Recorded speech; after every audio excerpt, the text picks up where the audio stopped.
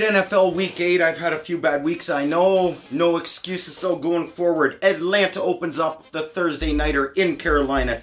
The Falcons, one and a half point road underdogs. The Falcons are 2 and 5 against the spread, 0 and 5 against the spread on grass. They are 1 and 6 straight up in their last 7 games, 6 and 1 against the spread on the road. 5 and 2 straight up, and 6 and 1 against spread as road underdogs is Atlanta. They were 8 and 2 straight up versus Carolina, 8 and 2 against spread versus Carolina. Carolina won 23-16 in Atlanta in week 5. That was Quinn's last game as coach for the Falcons. The under is 6 and 1 in Carolina versus Atlanta. Home team is 11 and 5 against the spread in this head-to-head matchup. The under is 11 3 and 1 when these two teams face off in the last 15 games. Carolina, they're 4 and 1 against spread, 1 and 6 straight up in their last 7 games. I like the Panthers to win and cover the spread. I will go with the trend that the home team is 11 and 5 against spread first and take the Panthers, even though McCaffrey won't be in the lineup tonight. Next game, Indy, two and a half point road favorites against Detroit. Colts are four and two. The Lions are three and three. I don't know how. Oh, wait a minute. They beat the Cards, which was a good win actually. The Falcons and the Jags, though. I, I really don't trust Detroit. I don't know how they got three fucking wins, but that's three losses on my uh, record for doing this because I bet against them all the time. Nothing I don't think will change this week. The Colts are four and one straight up, one and seven straight up on the road, but five and one straight up in Detroit. 4 and 1 straight up versus Detroit. The road team is 4 and 0 against spread in this head to head. The over is 8 and 1 in the Lions' last 9 home games. That's something to look for. And the over is also 3 1 and 1 in the head to head matchup. Detroit, they're 5 and 12 against spread, 3 and 12 straight up, 0 and 6 straight up at home, 3 and 10 against the spread at home, 0 and 7 straight up as a home underdog. Lions have been home underdogs in 12 of their last 14 home games, and they have a 5 and 9 against the spread record. I am on the Colts, and I think they are the better team on both sides of the ball. Matthew Stafford, yeah, he can be nice, but I don't think it amounts to wins. If you actually look at the passing leaders, I believe three of the top five passing leaders so far this year in yards uh, probably are on teams with losing records. Uh, prior to Dak Prescott going out, I, I know for sure that I, I think it was four out of the five top quarterbacks and passing yards were on losing teams. So take that for what you will. I'm sure that's changed the last couple weeks with the way Brady and Rodgers have gone off. I like Indy to win and cover this game. Moving on, Rams at Miami. Dolphins, three and a half point home underdogs. The Rams, they're 6 and 2 straight up, 10 and 4 against spread on the road, 3 and 6 against the spread versus Miami, 1 and 10 straight up versus Miami, 0 and 5 straight up in Miami. What goes on with the Rams when they travel east to Florida? The underdog is 4-0 against the spread in the head-to-head.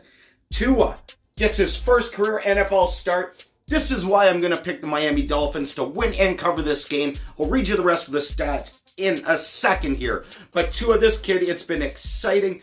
I, I just been waiting for this kid to fucking play a game, to tell you the truth. I think Miami has been doing well recently. 4-1 against spread, 4-1 against spread at home. 6-1 straight up versus the Rams, 4-3 against the spread versus the Rams. 6-1 against spread on grass, which is where they play.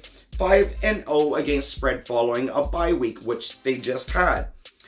I just can't get over the hype of Tua. If I'm wrong on this, so be it. If you guys have a gut feeling, like I always said, I'm giving you stats and numbers. You guys got to decide who the fuck you want to take, who you like in the games, because I'm not always going to follow some of my numbers as you guys has realized because I stick with my gut sometimes. Sometimes it'll burn me, but I like to rely on it most of the time. So you got to stick with what you believe in on these games. Here are some so here are just the numbers from me. And I get all my numbers from Bet365. If Bet365 doesn't have something, I'll go on five or six of the different Vegas sites and I'll I'll take the average of what the spreads are. There, there was one game. What was the game this week? Uh, Tampa Bay, the Giants. I didn't have a spread on Bet365 when I did all my uh, points, writing down the games and whatnot for you guys today. So I went on and I saw spreads anywhere from 9 to 12 so I went with the average of 10 and a half. There was, I, I think 10 and a half had the most and it kind of fell right in the middle of those numbers. So that is how I decided my Tampa Giants spread. That game will be last on the docket today. Next up, Las Vegas in Cleveland. The Browns 5 and 2 all of a sudden. Good for them. OBJ though, bad news. Done for the year. That knee injury last week. I don't know. What can Cleveland do without him is the question to me. Vegas, they did not look good at all last week. Cleveland at least got the win, although it was over Cincy.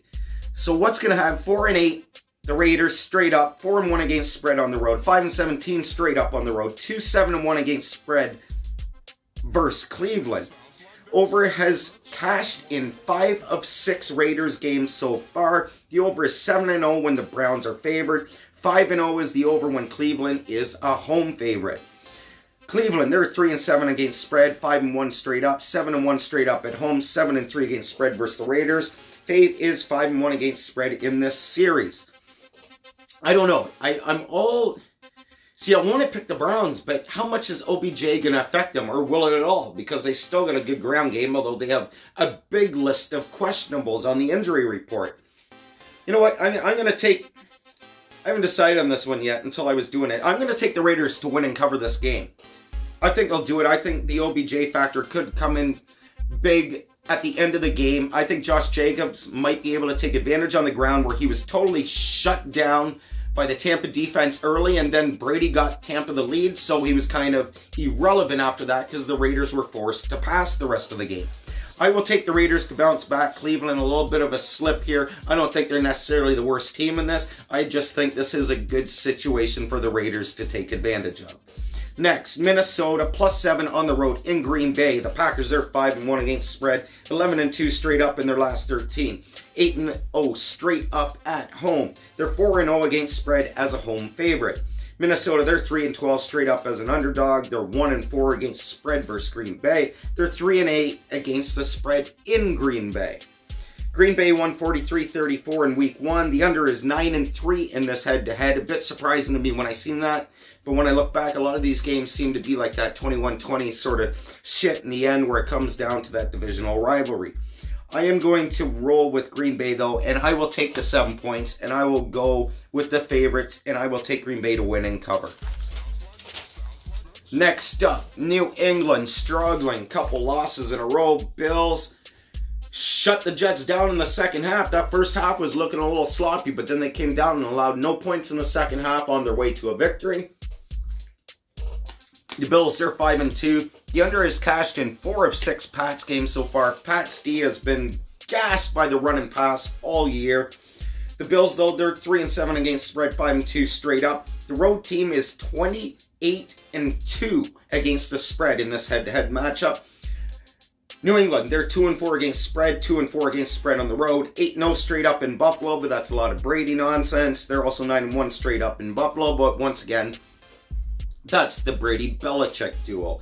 That is not happening now. And Cam Newton might be getting the blame, but like I said, the New England D has been getting gashed in and out. Newton had the COVID, he's been sloppy, yes. I, I think the Bills can take advantage of this, and I think they will win and cover this game. New York Jets on the road in Kansas City to face the defending champs. 19 and a half point home favorites are the Chiefs in this game. But here's some crazy numbers when I was going over this matchup. Sure, the Jets are 1 and 6 against spread. They're 0 and 7 on the year. Chiefs, they're 5 and 2 against the spread and 6 and 1 on the year. Jets, they average 12 points a game. The D defense, after allowing 30 or more points in each of their first five games, the last two games, they've held their opponents to under 21 points. Step in the right direction for the Jets. Will it be enough? They're 2 and 6 against spread versus Kansas City, 4 and 2 straight up versus Kansas City, and they're 6 and 4 straight up versus Kansas City, 4 and 6 against spread versus Kansas City in the last 10. Like, I, I don't know what to make of this. The Chiefs, they're they're 4-1 against spread at home to New York, 9-1 against spread at home overall. 19 points though, like man, 19 points. I don't know how you can't take Kansas City to win this game, but I, I, I don't know how you can really go 20 points. I, I'll take New York against the spread, and I will take Kansas City to win the game. That's too many points for me. I, I think the Jets have shown enough that to get blown out like they were early in the year, I just don't see it happening. You guys can tell I'm fighting with this one a little bit as well, just like that Cleveland uh, Raiders game. But anyways, Kansas City to win, the Jets to cover the spread. I'm sticking with it. Pittsburgh in Baltimore. This is the game of the week, right here, in my opinion. Two good teams, 6 0, 5 and 1. Baltimore, four point home faves. Pittsburgh's 8 and 2 against the spread as a road dog.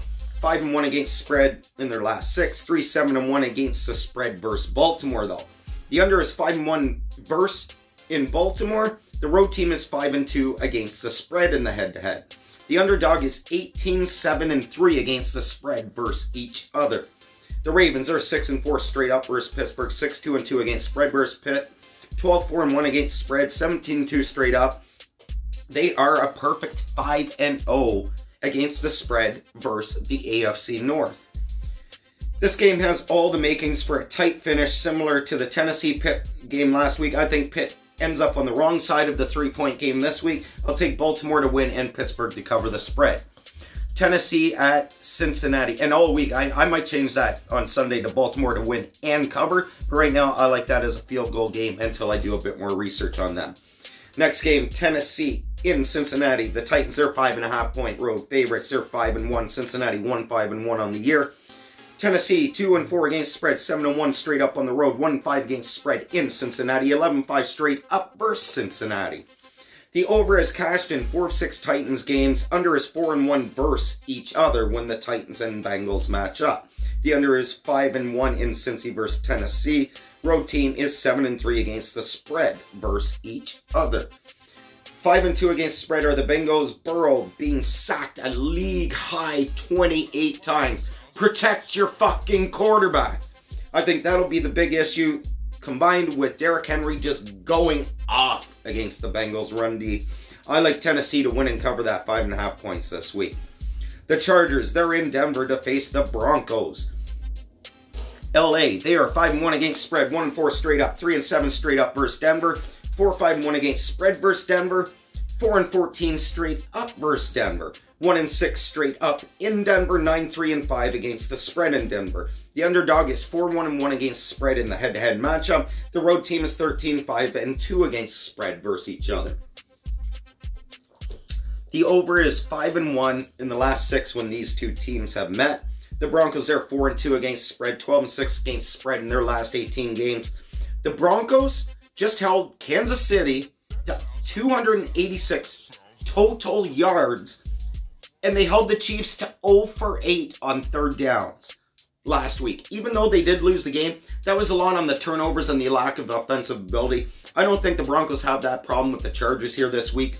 I will take Denver to not only cover the three point dog, but to win the game outright. Next up, New Orleans, four and a half point road favorites in Chicago. Four and two versus five and two. Five and two is the home Bears. They are six and thirteen against spread, six and two straight up in their last eight. New Orleans, they're 2 and 4 against spread, 8 and 1 against spread on the road, 14 and 6 against the spread versus NFC North opponents, 4 and 1 against spread versus Chicago. The over has cashed in in all six Saints games so far, might be the smartest play of the day right there. Is Thomas trying to work his way out of New Orleans? I'm really starting to hear a lot more rumors swirling that Thomas might be trying to work a trade out. Now, I don't see that happening this season, but in the offseason, don't be surprised if Thomas is no longer with the Saints. I don't know if this is going to be locker room trouble, but he's already been suspended by the team one game this year. I don't know what is going on there. I think that Chicago will cover the spread and New Orleans will win the game. San Fran plus three on the road in Seattle. The Seahawks 5 and 1. The 49ers, they're 7 and 0 against spread on turf, 7 and 1 against spread as an underdog. They're 6 and 1 against spread on the road. They are 4 and 14 against spread versus Seattle though, 2 and 11 straight up versus Seattle, 1 and 8 straight up in Seattle, 2 6 and 1 against the spread in Seattle. 4 12 and 1 against the spread versus Seattle in the last 17. The Seahawks, they're 8 and 2 straight up versus San Fran, 0 and 4 against spread versus the NFC West, though. Seattle's D has given up a record 2,875 fucking yards in six goddamn games this year. That is a record. Even the Dolphins' bad D, the Cowboys' bad D, the Jets' bad D over the last few years didn't give up that many fucking yards through six games. That is ridiculous. That is how Arizona was able to come back and stop Russell Wilson from being able to pull that game out of his ass against them last week. However, I do think Russell Wilson will have a field day with Lockett and Metcalf and the rest of the boys on the Seahawks offense, and they will put San Fran away. I think that they can win and cover the three point spread. Don't be surprised if it's a push, though, as much as I just talked up Seattle. Dallas in Philly. Wow. Wow. Wow. What a shitty fucking game this will be. And it's the fucking Sunday Nighter. How has this game not been flexed out for Baltimore and fucking Pittsburgh. That is a goddamn joke. There's no way you should have a 2 and 5 team facing off a 2 and 4 and 1 team on the fucking primetime game on Sunday night football. It's my favorite fucking team. I don't give a shit. They don't deserve to be the Sunday nighter. This game should be flexed to Baltimore Baltimore and Pittsburgh in my opinion. Anyways, that's my rant about the Sunday nighter. Dallas, they're 0-6 against spread, 6 and 4 straight up, and against spread versus Philadelphia. 0-5 against the spread on the road. The fave is 7 and 2 against the spread in this head-to-head matchup, however. Philly is 2 and 5 against spread, but they're 5 and 1 straight up versus the NFC East. And that seems to be the only teams that Philly might beat this year, which is a good thing because it'll give them the division and an undeserving playoff spot with a shitty ass record, but so be it. That's what it is this year, I guess. We have had bad teams. What was Seattle? 7 and 9 won the division one year. So if you can push to that, at least you won't be the worst team in history to win a division. You'll be tied. Anyways, the Eagles Dak Prescott gone. Dalton's a question mark. The Cowboys could be down to their third string fucking quarterback. I don't even know the kid's fucking name to tell you the truth. I didn't think I'd have to fucking research the third string quarterback for the fucking Cowboys this year. I never the thought never even crossed my fucking mind. So I can't even tell you the kid's name. And for that reason, I'm going to take the Eagles to win and cover. That is the only logic when these two teams are facing each other. I don't care who you're a fan of. I got a lot of friends who are Cowboys fans, and we just sit there and look at each other and laugh like, how the fuck can either of our teams fucking win this game? We actually fight with each other about whose team's gonna blow it and fucking lose the game so the other person's team can win the game. That's how bad these two teams have been. I uh, so I have no logic. I, will roll with Philly and the nine points just because Dallas they're probably going to be down to a third string quarterback and all the other issues going on. Their porous defense once might actually be able to do something for a game. We will find out. Tampa Bay at the Giants. That's your Monday nighter. This is going to be a shocker for you guys. Tampa, the Bucks, 10.5 point favorites. They are 2 and 8 straight up versus the New York Giants. 2 7 and 1 against the spread versus the G-Man. 1 and 8 straight up in New York when they face the Giants. The over is 5 and 0 in the head to head matchup. The underdog is 3 1 and 1 against the spread versus each other. The G-Men, they are 4 and 2 against the spread. They are 1 and 7 straight up. They are 1 and 8 against the spread at home. 4 and 1 against the spread as underdogs. What the Giants have traditionally done to Brady over the years, and to see the trends with what the Giants have done to the Bucks over the years, I am picking this as my upset special of the week on both the point spread and the straight up win. I think the Giants win and cover this game. They'll win it by a point, and there'll be some stupid fucking reason that they do because they have no business even competing with Tampa. Just one of those days it's going to be, in my opinion. I will take the G-Men to win and cover the spread. That's my Week 8 NFL 2020 football picks. Peace.